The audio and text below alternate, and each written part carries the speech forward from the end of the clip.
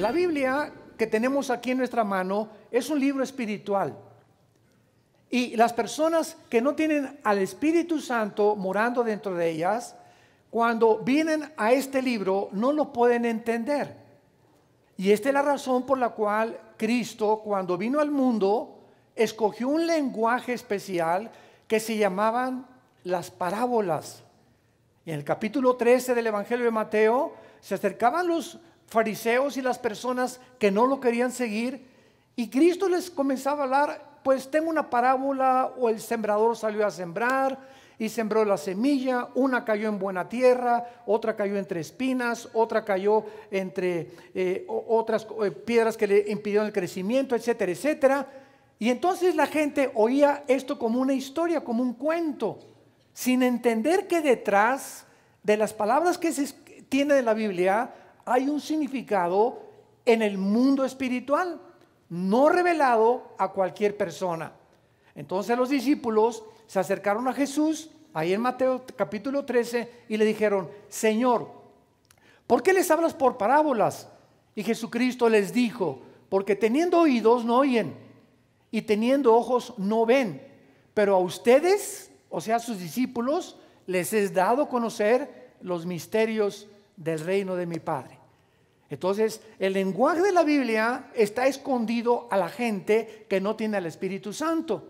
1 Corintios capítulo 2 dice, el hombre natural, el hombre que no ha sido regenerado por el Espíritu Santo, las cosas de la Biblia le parecen locura, porque chocan en el entendimiento, en la lógica, en el intelecto humano, no fue escrito para la Biblia, fue escrito para que el Espíritu Santo nos arrancara las vendas de los ojos y pudiéramos ver lo que se encuentra detrás de los simbolismos de la Biblia, que se encuentran interpretados dentro de la misma Biblia también. Por ejemplo, si queremos nosotros saber a qué se refiere Cristo con yo soy el que tiene la espada de dos filos, tenemos que buscar siempre en la misma Biblia, porque la suma de la palabra es verdad. Lo que eh, agarra una concordancia, todo cristiano tiene que tener una concordancia y un diccionario bíblico. Todo estudiante de la Biblia necesita una concordancia y un, y un diccionario bíblico. En la concordancia busca la palabra espada. Y entonces ahí te dice todos los versículos de la Biblia donde aparece la palabra espada.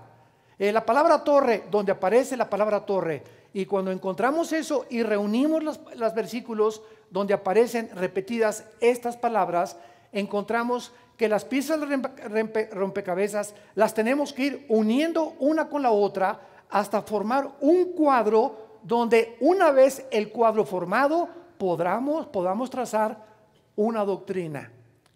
Pero cuando no se hace esto, esto es lo que hacen las sectas, que es una secta. Es un grupo de personas que toma un versículo y lo saca de la Biblia sin considerar lo que las otras partes de la Biblia dicen al respecto de lo que está leyendo. Entonces, inflan este versículo, trazan una doctrina y se convierte en una herejía. ¿Qué maldición tan grande trae a un varón serle adúltero a su esposa? No te la acabas con Dios. No te imaginas que en ese momento se quita como un globo el escudo de, de protección que tenemos y quedamos a merced de demonios, de principados, de potestades, de huestes espirituales de maldad que están buscando un hoyo en nuestra armadura. Un agujerito para entrar a la casa, ahí viene la víbora, para meterse a la casa a morder e inyectar veneno a nuestros hijos y destruir nuestro matrimonio. Esta es la razón tan importante por la cual cada año estamos haciendo este seminario de matrimonios ahí en la Riviera Maya. Dichosos y benditos los que puedan asistir y poder escuchar las conferencias que vamos a compartirles, porque salen fortalecidos, entienden la santidad tan grande del pacto que ante Dios es y significa el matrimonio. Y el peligro tan grande que el que comete adulterio destruye su alma.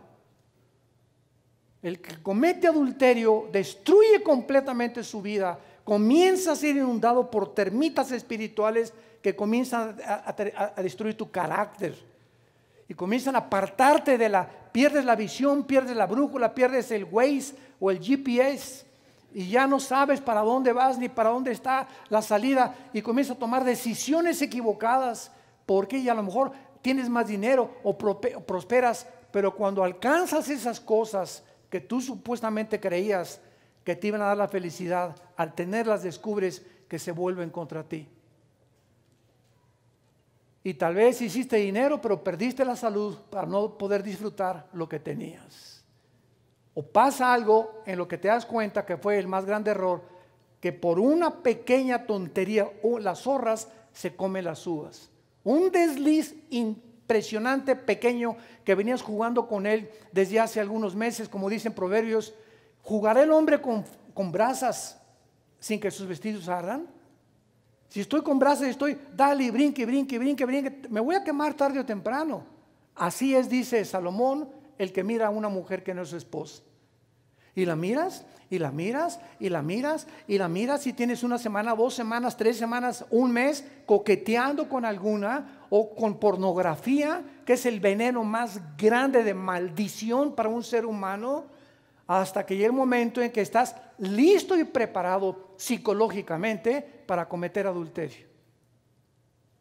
Jugaste con el pecado y con el pecado no se juega, porque perdiste el temor de Dios.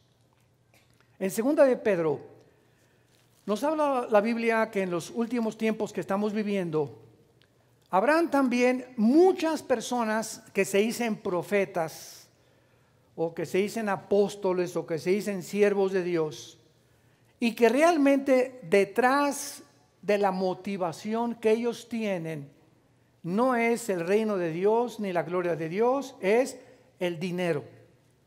Hacer dinero y hacer dinero no es pecado.